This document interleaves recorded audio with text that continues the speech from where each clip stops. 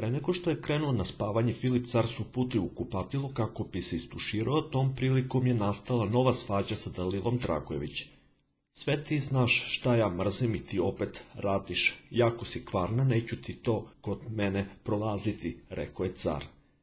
Neću te više trpiti, ni sekunde, rekla je Dalila pa je počela da plače. Šta je tebi, ženo, okreni se, nemaš potrebu da plačeš, nisam ništa uradio, sa tobom šta treba da uradim da bih ti udovoljio, rekao je car.